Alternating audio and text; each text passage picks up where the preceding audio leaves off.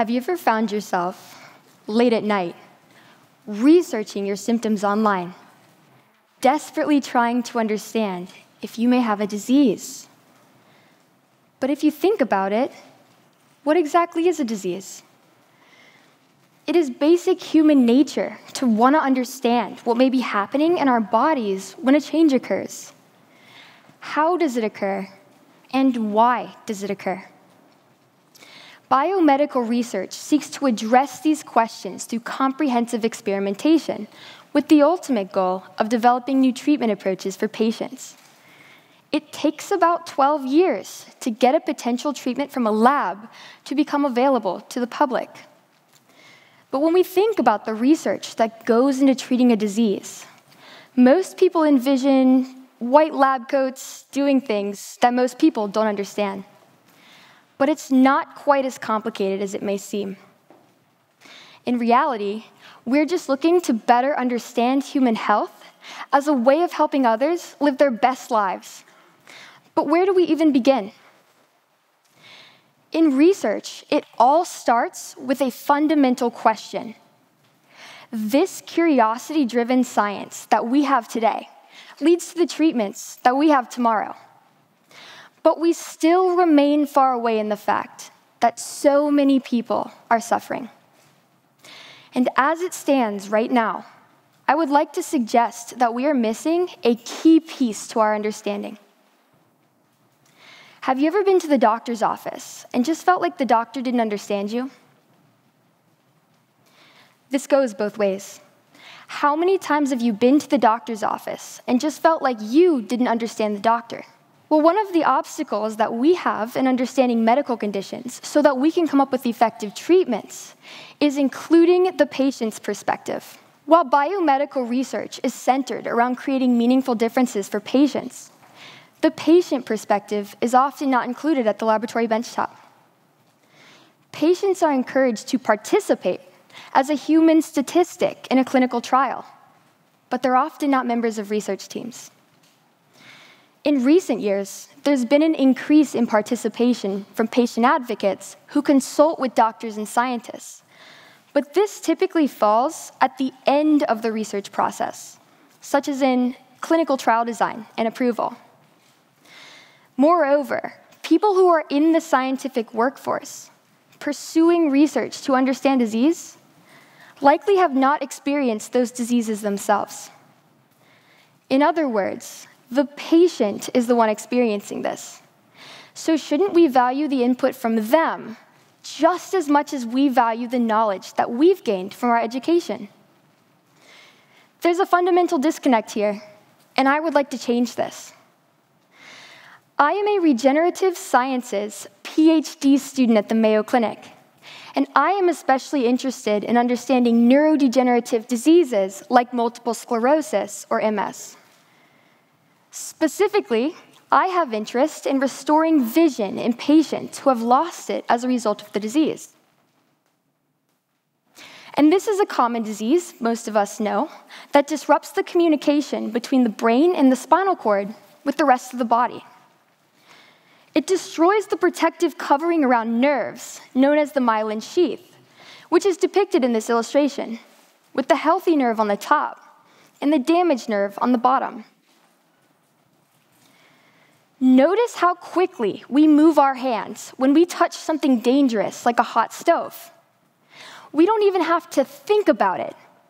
So that's our pain receptors in our hands, transmitting signal up our arms to our spinal cord, which then signals to our brain about the pain. Our brain, in turn, sends instructions back to the spinal cord, which then gets sent down our arm to our hand, and we move it all in a matter of milliseconds. You don't have to consciously think about pulling your hand away, because by the time that you did, you would probably be experiencing tissue damage. So let's think of the myelin sheath like the cord of a lamp. It insulates the underlying wires.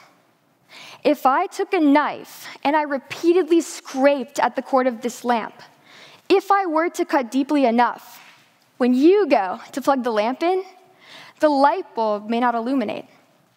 Or you could end up across the room. It's a big problem. Disease is a big problem. And this is why we need to be asking new questions. So, why do I care so much about all of this? Well, although you cannot tell by looking at me, I myself am a patient who was diagnosed with multiple sclerosis when I was 11 years old. This is a rare form of this common disease.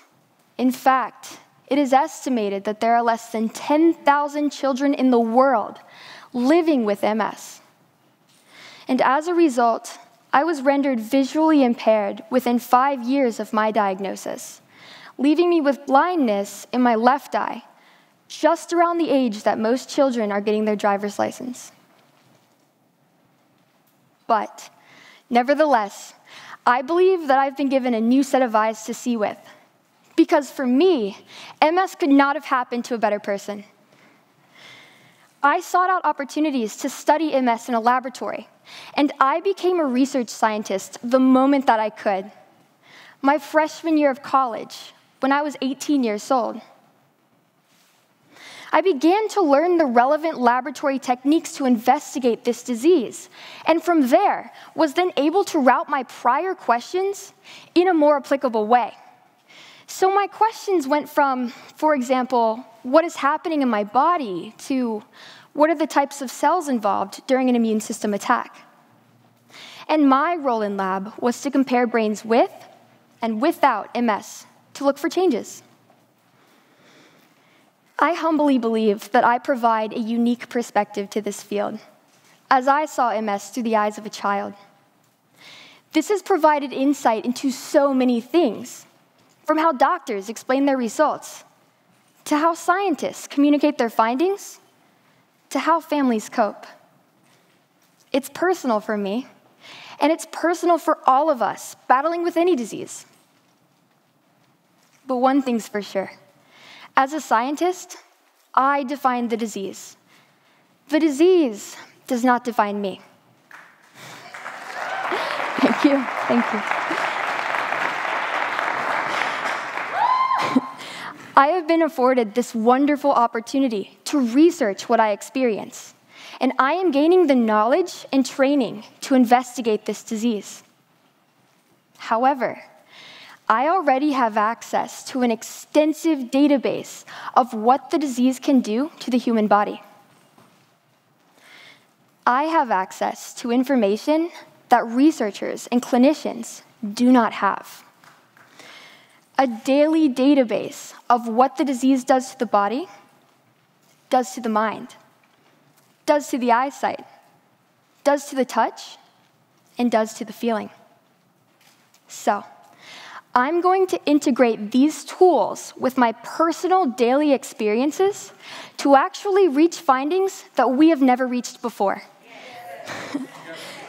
Thank you. Thank you.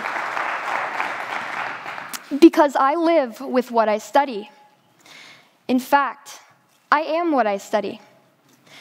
So, as a patient with MS and a biomedical research scientist of my own disease, I would like to establish and define a new concept a patient research scientist. So these are patients who are equipped with the laboratory skills to apply new questions towards the ongoing research of their disease. And these are likely questions that are not currently being asked. But in a field that many rely on, every perspective matters. I propose the funding initiatives that will aid in the recruitment and training of patients into the scientific workforce. And we are currently working on establishing this as an initiative. I have created an organization of patient research scientists, such as myself, that you can check out at this website, patientscientists.org. It is my hope that, in years to come, each lab is equipped with a patient research scientist. Just like they're equipped with microscopes, beakers, research faculty, you name it.